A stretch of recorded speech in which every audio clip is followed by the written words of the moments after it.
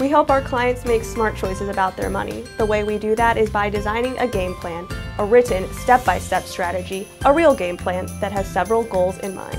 First is to preserve, protect, and prudently grow the assets our clients have taken their entire lifetimes to accumulate. Second is to deliver a reliable stream of income, one that they can count on so they can do all the things that they want to do during retirement. And third is cost effectively addressing their healthcare needs, like helping individuals enroll in Medicare and choosing the right plan to supplement their medical coverage.